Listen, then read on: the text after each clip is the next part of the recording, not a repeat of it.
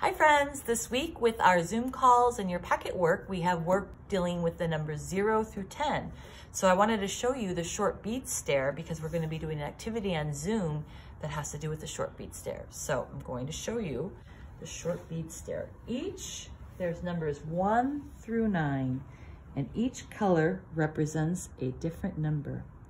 Number one, red, one. Number two is green, one, two.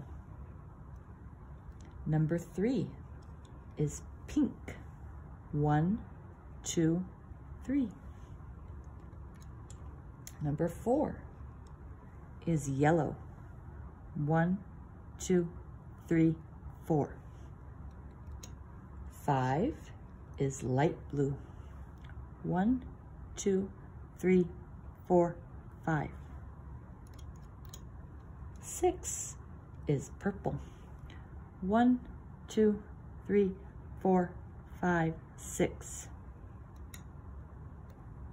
Seven is clear or white.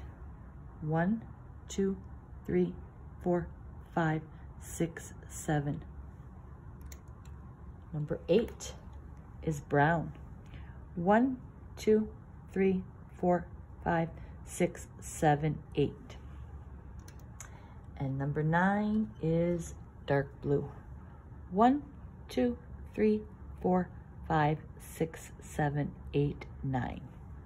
So this is the short bead stair and it's going to be in our classroom. So I hope to show everyone this again when we come back to school. And there's lots of activities we can do with these beads. And if you've come to the Zoom meeting tomorrow, we'll be doing a coloring activity where we use all our colors and our short bead stair. Bye-bye, everyone. I miss everyone.